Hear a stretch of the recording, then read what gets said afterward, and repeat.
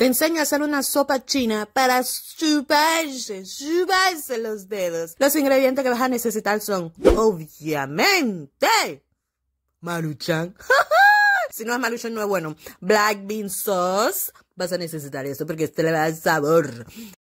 Repollo y zanahoria picadita y la carne de tu preferencia. El día de hoy vamos a utilizar chuleta porque eso es lo que me gusta. Lo vas a cortar en trozos pequeños, lo vas a marinar y lo vas a poner en la nevera. Obviamente no puede faltar el sazón Goya.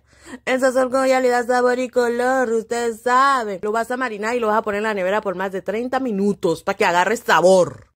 Mientras tanto, pones a calentar tu sartén y pones agua a hervir para cocinar la marucha con un poquito de aceite a cocinar esas chuletitas, se ha dicho. Le vas a dar vueltita de lado a lado, lo meneas de lado a lado, suave, así como dice la canción, hasta que se cocine, se dore, se tenga ese sabor que agarre, que se cocine.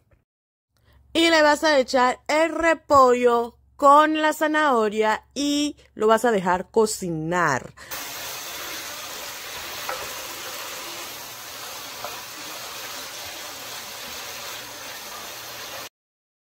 En un bol aparte vas a mezclar dos cucharadas del black beans mix y lo vas a diluir y lo vamos a echar a la salsa.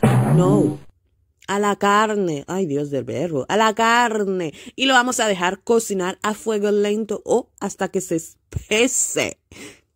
Eso es como de dos a tres minutos para la gente que le gusta los números. ¿eh? Ahora vamos a cocinar la marucha. Usted sabe que eso va a demorar como unos dos minutos, menos de dos minutos porque no lo queremos cocinar mucho. Y ese sobrecito que viene allá adentro no lo necesitamos porque tenemos todo el sabor en la otra salsa que acabamos de hacer. Así que vamos a cocinar la marucha, lo dejamos por unos dos minutos, menos mejor, porque lo vamos a transferir a esta belleza, a esta salsa que está ahí, esperándonos. Bueno, ya se cocinó, botamos el agua y llevamos la marucha a la salsa. Así, meneamos, meneamos hasta que agarre el sabor.